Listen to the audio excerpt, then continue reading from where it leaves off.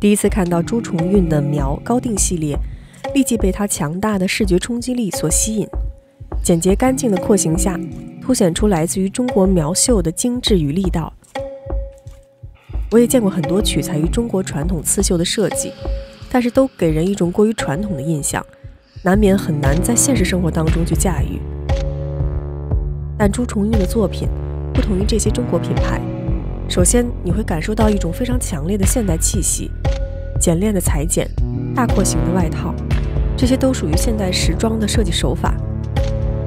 而在现代感的廓形之下，巧妙地融合大体量而复杂的描绣，将打籽绣、变绣、破线绣等这种传统的技法融入到2022秋季系列当中，在体现高定精髓、对于高超工艺的极致追求表现的同时，摒弃了绚丽的彩线，选择更加简洁而有力量感的黑色与白色，同时在图案上结合黑苗祈福的百鸟衣。与朱重运品牌形象白冠，让苗绣这种传统的纹样有了新的风貌。我一直认为，对于传统工艺真正的保护，就是去发展并使用它。只有让它与当下人们新的生活方式发生结合，才能让这种工艺具有自己的生命力。有责任和格局的品牌肩负着这样的使命，而朱重运的苗系列就是与非遗匠人所携手创造的。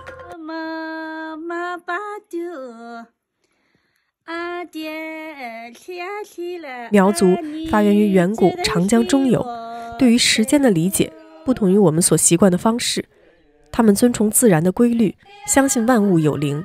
在漫长发展的长河中，苗族服饰中的图案具有传承本民族的历史，表现憧憬的生活与古往今来生存环境的浓缩，从而具有了文字意义的表达功能。可以说是穿在身上的史书。刺绣的图案在形制和造型方面，大量运用各种变形和夸张的手法，表现苗族的创世神话和传说，从而形成苗绣所独有的艺术风格和刺绣特色。这也是为什么当我们看到朱重运的作品时，会感受到那种震撼的视觉冲击力。我想，这是一种源自于自然的强大力量，是品牌向古老睿智的东方文明的潜心之作。苗绣无字之诗的深渊意蕴，与品牌大美不言的东方哲学，产生了跨越时空的共鸣。在这个系列当中，有几款让我惊艳的设计。首先是这套荧光黄色的针织套裙，我们挡住它袖子的部分，这就是一个非常适合于上班穿着的正装套裙。优雅的线条和非常现代感的色彩是它鲜明的特征。但第二眼你就会注意到袖子的廓形和纹理与大身的坑条不同，袖子采用了另一种更有肌理感的织法，对比出层次感以及亮感。而裁剪方面，则参考了苗族服饰当中常见的落肩拼绣，微微外弧的廓形更具有一种气势感。第二套 look 是这套黑色的皮衣短裤，造型攻气十足，上衣的形制简化了苗族服饰的外套。采用油皮压花的工艺覆盖上衣、短裤和方形超大手包的表面，图案上结合黑苗祈福的百鸟衣与朱重运品牌形象东方白冠，这种隐藏在暗处的精致奢华，更让人有想一探究竟的欲望。搭配有典型苗族纹样的银饰耳环，干净的新中式立领白衬衫，英气感扑面而来。最后一套。是这套天然亚麻色的西服三件套，oversize 的西服版型展现出模特的松弛与娴雅，而马甲上用本料保留的流苏、细长的腰带一角和超大枪色银饰，这些细节之处又透露出苗族服饰的影响。从这几套造型中可以发掘一个显而易见的设计方法：具有都市感的时髦而先锋的廓形，融合苗族传统的服饰特点。但是这种灵感的借鉴又不仅仅是简单的生搬硬套一些传统工艺，而是对这些具有特色的元素进行二度创作，使它们更具有现代性。这是一个重要的设计点，只有这样才能使古老的遗产焕发生机。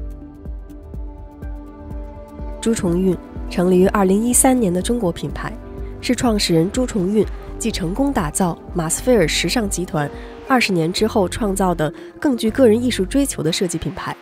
在历经市场磨练后的回归初心，重新审视成长与生活着的这片土地。朱重运对东方美学依然有着深深的眷恋，基于大美不言、极简东方的品牌哲学，汲取东方文化的宝藏，创造出具有浪漫情节的现代服饰，将传统东方思想的意蕴与新时代下人们的生活方式相结合，讲述崭新的审美语言。二零二二年，在面临疫情的特殊时期下，品牌呼吁人们重拾平衡视角。面对生活中的变化，以大地礼赞为年度主题，从观察大地造物之美的角度，重新审视我们所生活的这片土地。这是对于自然所馈赠的赞美与敬畏。而人际与狂欢的诗，分别对应四季主题中的秋与冬，在写满人类文明的大地上，寻找生命的答案，倾听时间的声音。触摸在纵横交错的时代肌理上相遇的痕迹。当时间迈入一年的最后一个季节，欢乐的庆典是对大地的礼赞，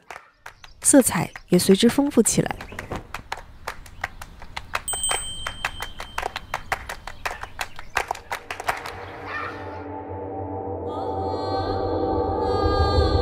的风格飘洒诗意，也大气磅礴。他善于捕捉精致的东方元素，一切关于自然、人文、艺术的美好，都能成为其创作的灵感。关注时代的当下，为拥有独立思想和价值观的女性提供着装的另外一种可能。